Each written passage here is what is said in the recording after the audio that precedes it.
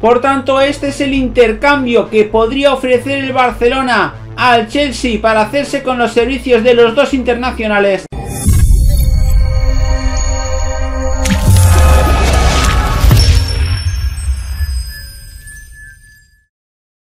Hola de nuevo gente, ¿cómo estáis? Bienvenidos a un nuevo vídeo de Objetivo Gol. Vamos con la última hora del Barcelona.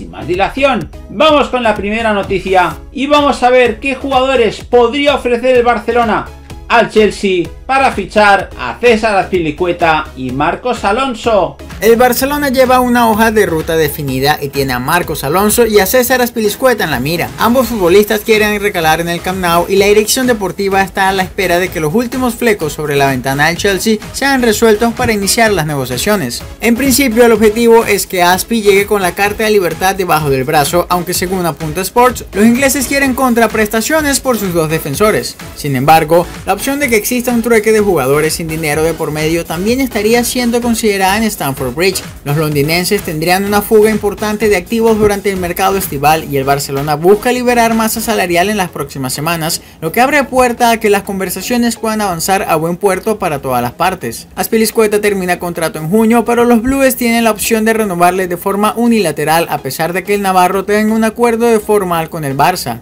Por su parte, Marcos Alonso tiene contrato hasta 2023 y no entra en los planes a futuro de la institución. Los catalanes quieren reducir al máximo el coste de los traspasos, por lo que el club inglés está analizando a varios integrantes de la plantilla culé para incluirles en el movimiento. Tanto Thomas Tuchel como la dirección deportiva les interesa mucho Sergino Des, un jugador cuyo valor de mercado asciende hasta los 20 millones de euros. Sumado a él, también entraría Neto Murara en el trueque, ya que es probable que haya varias modificaciones en la portería a partir de la próxima temporada. El Barcelona estaría dispuesto a prescindir de ambos, pero todo pasará por Marina Granovskaya, la cabeza ejecutiva del Chelsea. Mateo Alemani querría concretar todas estas operaciones antes del 30 de junio y ya ha estado en Londres para resolver personalmente varios de los flecos que encallan el tema.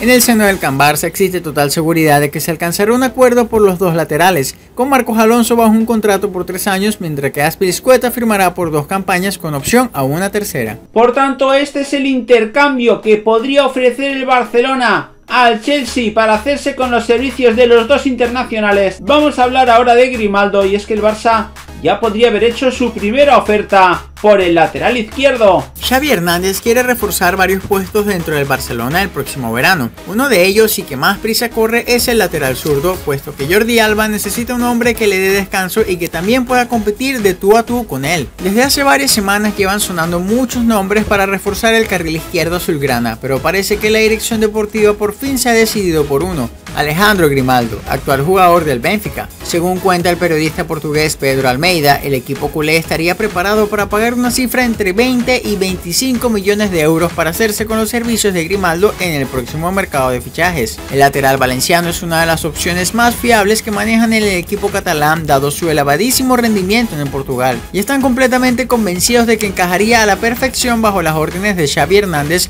dado que es un jugador con mucho sacrificio defensivo pero también con mucha proyección ofensiva muy similar a Jordi Alba. Alejandro Grimaldo tiene un año más de contrato con el Benfica y estamos ante una de las mejores oportunidades para hacerse con sus servicios sin que el Barcelona tenga que pagar un precio abusivo por él, dado que el club lisboeta no podrá exigir mucho más dinero por él ya que correría el riesgo de perderlo gratis el verano próximo. Por su parte, el valenciano siempre se ha visto halagado por el interés blaugrana y estaría dispuesto a regresar para volver a defender la camiseta culé, club al que perteneció durante 8 temporadas. Vamos a hablar ahora de Keis Ruiz, que ha sido despedido por el Fútbol Club Barcelona incluso antes de final de temporada. Vamos a hablar ahora de uno de los cedidos por el Barça esta temporada, Francisco Trincao. El Barcelona no ha limitado su operación salida solamente al primer equipo. El filial también se han visto afectado y el paso de una de las promesas del Barça B ha llegado a su fin. Se trata de Case Reese, uno de los fichajes estrellas del verano pasado para el equipo de Sergi Barjuan. Con 18 años regresó a comienzos de temporada desde el Paris Saint Germain con la proyección de ser el gran 10 del plantel,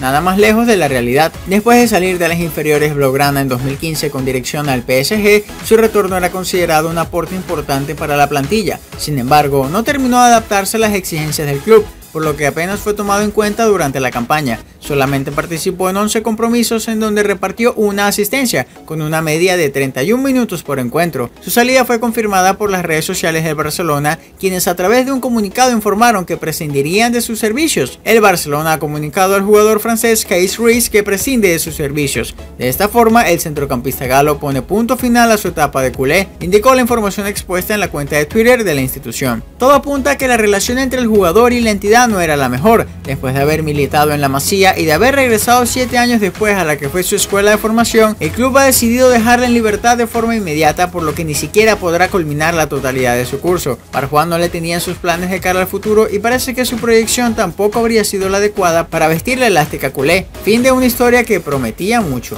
Vamos a hablar ahora del bonito gesto de los médicos del Celta tras el aparatoso choque entre Gaby y Ronald Araujo. Cuando quedaban pocos segundos para llegar al minuto 60 del partido entre el Barcelona y el Celta de Vigo en el Camp Nou, un choque de cabezas entre Ronald Araujo y Gaby encendió las alarmas en el campo. Los dos jugadores blaugranas protagonizaron un incidente que enhumedeció a los aficionados culés. El central uruguayo pudo continuar andando inmediatamente después de la colisión, pero pocos instantes después se desplomó sobre el césped. Como no podría ser de otra forma, todos los integrantes de los servicios médicos del Barça salieron del banquillo como una exhalación. Cuando ingresaron al terreno de juego, se dividieron para atender al defensa y al centrocampista. Desde el primer momento, no obstante, los futbolistas avisaron de que el estado de Araujo era mucho más preocupante y todos los efectivos centraron su atención en el 4. Fue justo en ese momento cuando el del Celta tuvo un gran gesto de deportividad al ver que Gaby también necesitaba ser observado, el doctor Juan José García Corta, jefe de los servicios médicos del club gallego e integrante de los servicios médicos de la Federación Española de Fútbol, entró en escena para cerciorizarse que el joven futbolista andaluz no estaba en peligro. Algunos de sus ayudantes también auxiliaron al caterano del Barça. Afortunadamente el incidente tuvo final feliz. Gaby pudo continuar sin problemas y Araujo fue trasladado al hospital de Barcelona para someterse a unas pruebas que han resultado satisfactorias. De hecho, la entidad barcelonista ha informado este miércoles que el Central Charrúa ya tiene la alta hospitalaria. Y ya para acabar, vamos a hablar de una noticia más de ámbito cultural del Fútbol Club Barcelona. El Barcelona está buscando un nuevo equipo para Francisco Trincao, ya que el Wolverhampton no va a pagar los 30 millones de euros que tiene como opción de compra. A pesar de que el jugador ha sido uno de los mejores futbolistas de la plantilla, el portugués está en un muy buen estado de forma y parece que en Portugal podría estar su futuro, dado que el Sporting de Portugal estaría realmente interesado en su incorporación. Según cuenta el diario Sport, los lusos habrían contactado con el conjunto catalán para hacerle saber su deseo de contar con el talentoso futbolista para la próxima temporada. Eso sí, solo contemplarían una sesión dado que tampoco estarían dispuestos a llegar a las exigencias económicas blaugranas. El Sporting de Portugal lleva mucho tiempo monitorizando a Francisco Trincao desde que era futbolista del Sporting de Báraga y parece que está ante una gran oportunidad para incorporarlo a su plantilla ya que contaría con el beneplacito del propio futbolista. Por su parte, el Barcelona estaría pensando más en una posible venta de Francisco Trincao ya que necesita recoger dinero por donde sea para poder hacer nuevos fichajes el próximo año. La intención es sacarlo por unos 30 millones de euros y se va a priorizar esto a cualquier oferta de sesión a no ser que incluyese una obligación de compra. Ahí cambiaría la cosa. Los culés han intentado con todos sus medios que el Wolverhampton se lo quedase, incluso intercambiándolo por Adama, pero los lobos no pican. Nada más por el momento, como siempre animaros a que os suscribáis al canal para seguir viendo todos nuestros vídeos. Y aquí os dejamos este vídeo más que interesante para que sigáis disfrutando de todas las noticias del fútbol. ¡Hasta la próxima!